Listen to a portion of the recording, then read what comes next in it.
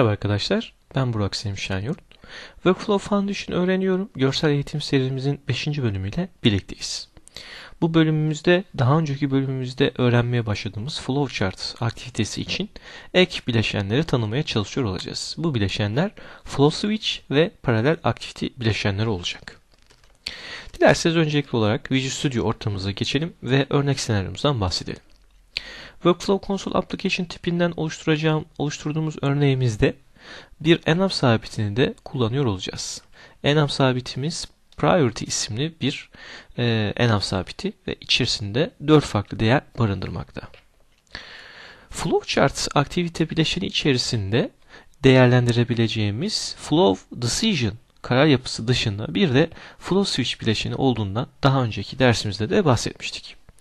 Jenerik yapıda olan flow switch sayesinde akışı birden fazla duruma göre yönlendirmemiz mümkün. Bunu aslında C Sharp tarafında kullandığımız switch ifadelerine birebir benzetebiliriz. Dilerseniz öncelikli olaraktan senaryomuzdan bahsedelim. Senaryomuza göre aktivitemizin içerisine, flowchartımızın içerisine 1, 2, 3 gibi integer değerler aktarıldığını düşünüyor olacağız. Flow switch isimli bileşenimiz bu integer değerlere bakaraktan env sabitinin değerini set edecek ve bazı işlemler yapacak. Hedefimiz burada flow switch ve daha sonradan da ekleyeceğimiz paralel aktivite bileşenlerini tanımak olduğundan son derece basit şekilde ilerliyor olacağız ve pek çok write line aktivitesini kullanacağız. Öncelikli olarak flowchart için geçerli e, variable'larımızı tanımlayalım. Bunlardan bir tanesi level olsun ve tipi de int 32 olarak set edilsin. Flowchart skopunda tanımladığımız bir değişken yer almakta. Bir de warning level isimli diğer bir değişkeni tanımlayalım. Şimdi bu değişkenimiz, variable'ımız aslında az önce gösterdiğimiz env sabit tipinden olmalı. Yani priority env sabit tipinden olmalı. Bu amaçla variable type kısmından browse for types diyor ve şu anda çalışmakta olduğumuz projemizi seçerekten lesson 4 isim alanı altında yer alan priority tipini işaret ediyoruz. Burada dikkat edilmesi gereken noktaların başında söz konusu tipin env sabitinin public olarak tanımlanmış olması yer alıyor. Ve bir de projemizi bir kere build etmiş olmalıyız. Şu anda sekans e, düzeltiyorum. Flowchart aktivitemiz içerisinde tanımlı iki değişkenimiz yer almakta. Level ve warning level. Öncelikli olaraktan basit bir assign aktivitesini buraya sürükleyip bırakalım.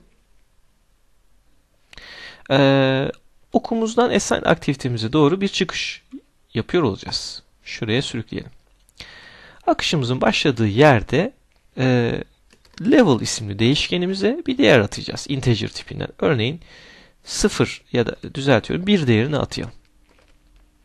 Şimdi assign işleminden sonra da flow switch bileşenini sürükleyip bırakıyorum. Sürükleyip bırakma işleminden sonra jenerik bir tip olduğu için bize flow switch'in hangi tiplerle çalışacağını ifade ediyor. Genellikle bu tarz yapılarda örneğin bir env sabitini kullanmayı tercih edebilirsiniz. Veya bir bu örnekte olduğu gibi integer bir değer veya farklı tiplerde söz konusu olabilir. Biz öncelikli olarak burada int32 tipini seçiyor olacağız. Flow switch bileşeni üzerine geldiğimizde dikkat edecek olursanız çok farklı noktalardan ok çıkışları yapabildiğimizi göreceğiz. Bu da aslında switch condition içerisinde yer alan e, değişkenin alabileceği değerlere göre farklı kırılımları oluşturabilmemiz anlamına gelmekte. Özellikler penceresine gittiğimizde flow switch bileşeni ile ilişkili olaraktan bir expression özelliği yer aldığını görmekteyiz. Burada aslında ifadeyi yazmaktayız. Bizim tabii ki burada kullanacağımız şey aslında level isimli variable'ın değeri. Yani bu değere bakaraktan e, bir karar veriyor olacağız. Çok doğal olarak burası bir Visual Basic expression olduğu için, Visual Basic sintaksiyle yazılan bir expression olduğu için geriye int değer döndüren herhangi bir fonksiyonellik de burada söz konusu olabilir. Örneğin bir klasördeki dosya sayısının integer karşılıklı olarak değerini buraya alaraktan flow switch içerisinde gerekli dallandırmaları yapabilirsiniz. Şimdi tabii ki assign işleminden sonra flow switch'e doğru gitmemiz gerekiyor. Buna göre okumuzu tekrardan tesis ettik. Ee, şimdi flow switch'ten sonra yapacağımız işlemler. Gene assign işlemleri gerçekleştireceğiz aslında basit anlamda. Switch'e gelecek olan e, variable'ın değerine göre, integer değerine göre bu atamaları gerçekleştireceğiz. Bu amaçla bir assign aktivitesi daha e, buraya sürükleyip bırakıyorum ve switch'ten buraya bir dal e, ok çıkartıyorum. Şimdi dikkat edecek olursak arkadaşlar default yazan bir değer yer aldığını görmekteyiz. Eğer oka tıklarsak properties penceresinde e, case değerini ve is default case özelliklerini görmekteyiz. Şu anda varsayılan olarak ilk oku sürüklediğimiz için is, is default case değerini işaretli olduğunu görüyoruz. Bu varsayılan durumda ne yapılacağını göstermekte. Yani tipik olarak bildiğimiz switch case bloğunun flowchart'taki e, workflow'daki karşılığını kullanmaktayız. Tabii ki is default case değeri true olduğu için case özelliğine bir değer atamamız söz konusu değil. Dilerseniz default olması halinde assign işlemini gerçekleştirelim. Warning level için priority e, unknown değerini verebiliriz. E, default olarak. Şimdi tabii ki level'ın 1, 2, 3, 0, 1, 2, 3 olma koşullarına göre bir takım işlemler yapıyor olacağız. Tekrardan bir assign aktivitesini buraya sürükleyip bırakalım. Her biri için birer assign aktivitesi aslında sürüklüyor olacağız. İstediğimiz kadar ok çıkartabiliriz buralara. Örneğin mesela şu anda 0 değerini verdi. 0 değeri söz konusu ise eğer e, söz konusu level değişkeninde bu durumda warning level'ı farklı bir değer olarak set edebiliriz. Priority e, low olarak set edilebilir. Yine bir assign aktivitesi sürükleyip bırakıyorum. Buraya da bir ok çıkartacağım flow switch içerisinden. Şu an tabii ki ekranı çok e, efektif bir şekilde kullanamadık. E, büyüttüğümüz için boyutunu. Örneğin bir olduğu takdirde warning level'ın e, düzeltiyorum. Priority nokta normal olduğunu söyleyebiliriz. Bir de 2 değeri vardı. Dilerseniz onun için de yapalım. Üşenmeyelim. Bunun için de gerçekleştirelim. Evet şu şekilde alıyorum. Bir ok daha çıkartacağız şimdi flow switch'ten buraya doğru. Şurada boş bir yer var. Oradan sürükleyip bırakalım. Bu sefer de 2. Kendisi otomatik olarak zaten artırdı dikkat ederseniz integer değerleri. Warning e, level yine priority nokta high olarak set edebiliriz. Okların üzerine tıkladığımız takdirde eğer default case değil ise case değerlerini istediğiniz gibi değiştirebileceğinizi görebilirsiniz. Örneğin şurada 3 yaptığımızda, e, pardon 4 yaptığımızda bakın ok değeri içeri üzerinde 4 yazdığını görüyoruz. Dolayısıyla integer değeri 4 olduğu durumda gerçekleştirilecek işlemler söz konusu. Tekrardan ben bunu eski haline getiriyorum. Şimdi e, bir de paralel aktiviteden bahsetmiştik flow switch e, flowchart içerisinde kullanabiliriz. Aslında paralel aktivite bileşenini herhangi bir durumda kullanabilirsiniz. Herhangi bir noktada kullanabilirsiniz. Burada amaç ardışıl olarak işletilmek zorunda olmayan aktivitelerin paralel olarak çalıştırılmasıdır, başlatılmasıdır. Dilerseniz hemen bir paralel aktivite bileşeni sürükleyip bırakalım buraya. Örneğin e, priority level'ın e, yüksek olması durumunda yani önem derecesinin yüksek olması durumunda yapılması gereken işlemler için e, paralel işlemler başlatmak istediğimizi düşünebiliriz. Biraz tabii şimdi çizelge olarak kötü oldu ama küçülttü, küçülterekten biraz sonra düzelteceğiz bunu. High e, aktivitesinden de düzeltiyorum. Assign işleminden sonra da paralel aktivitesine doğru bir sürükleme işlemi yapacağız.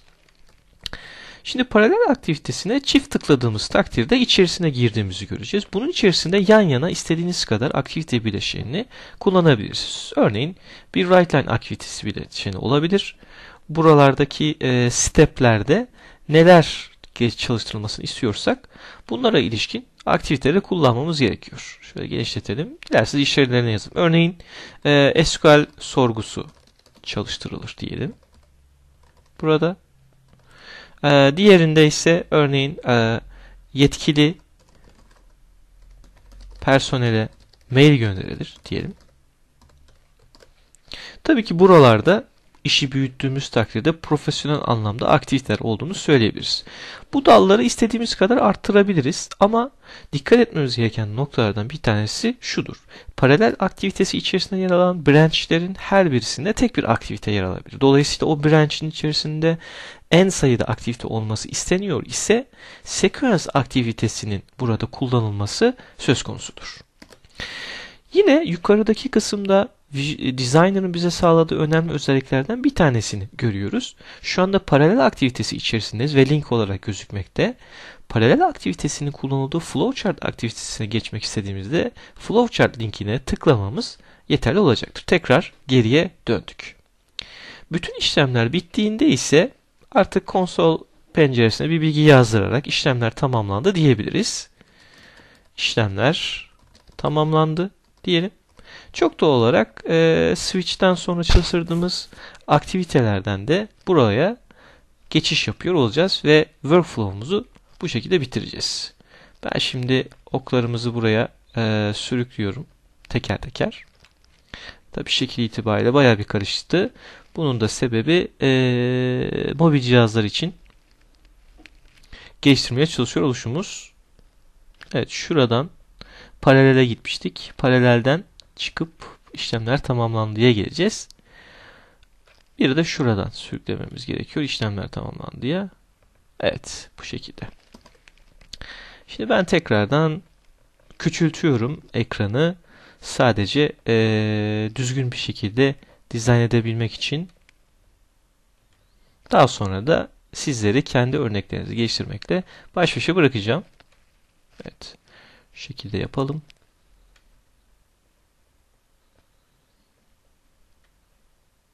Evet.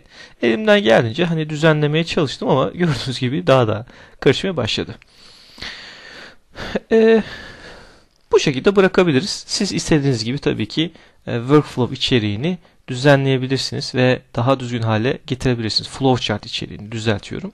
Biraz daha tutarlı düzgün bir hale getirebilirsiniz. Okunaklı hale getirebilirsiniz. Ben de elimden geleni yapmaya çalıştım burada. Flow SVG'mizi de şuraya doğru sürükleyip bırakalım. Belki şu oku da şöyle yaparsak düzgün olacaktır. Evet. Projemizi bir kere build edelim ve isterseniz çalıştırarak test edelim. Sonuçları görmeye çalışın. Şu anda e, level 1. Dolayısıyla switch bloğunda bununla ilişkili adımların geçilmesi ve işlemler tamamlandı yazması normal. Ama örneğin bu level'ı e, sıfıra set edelim. Bir de bu şekilde deneyelim. Priority low'a çektik. Gene işlemler tamamlandı diyecek. 2'yi ele alalım. 2 olarak set ediyorum. Değeri Şimdi bu durum biraz daha farklı olacaktır. Dikkat ederseniz SQL sorgusu çalıştırır, yetkili personel mail gönderir, işlemler tamamlandı. Tekrar geldi. Dolayısıyla e, paralel aktivitemiz içerisindeki aktivitelerin de çalıştırıldığını görmüş olduk burada. Evet, bu dersimizde tabii ki varmış olduğumuz bazı sonuçlar var. Çok basit anlamda iki yeni aktivite bileşeni daha görmüş olduk. Flowchart içerisinde kullanılan e, Flow Switch aktivite bileşenini ve e, bununla birlikte gene değerlendirebileceğimiz paralel aktivite bileşenini tanımladık. Flow Switch içerisinde yer alan branchlerin Flow Step olarak adlandırıldığını belirtelim. Ve Flow Switch aktivite bileşeni içerisinde en sayıda koşula göre akışın dallara ayrılmasının mümkün olabildiğini söyleyebiliriz. Genellikle enab sabiti gibi değerler veya flowchart e, düzeltiyorum flow switch'in tanımlanmış olan jenerik tipe ait bir e, değişken değeri döndürebilecek olan operasyonel Visual Basic Syntax çağrılarının değerlerine göre akışın yönlendirilmesi sağlanabilir.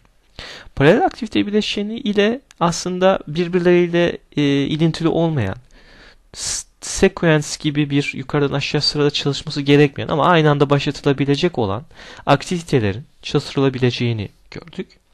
Ve yine bu paralel activity branchleri içerisinde eğer herhangi bir branch içerisinde birden fazla aktivitenin çalıştırılması isteniyorsa sequence aktivitesinin e, aktivite bileşenine yer gerektiğini ifade ettik ve tabii ki son olarak bugüne kadar yapmış olduğumuz e, Visual e, Expression işlemlerinde Visual Basic sintaksını kullandığımızı e, tekrardan hatırlatmış olalım. Böylece geldik bir dersimizin daha sonra 6. dersimizde görüşünceye dek hepinize mutlu günler diliyorum arkadaşlar. Hoşçakalın.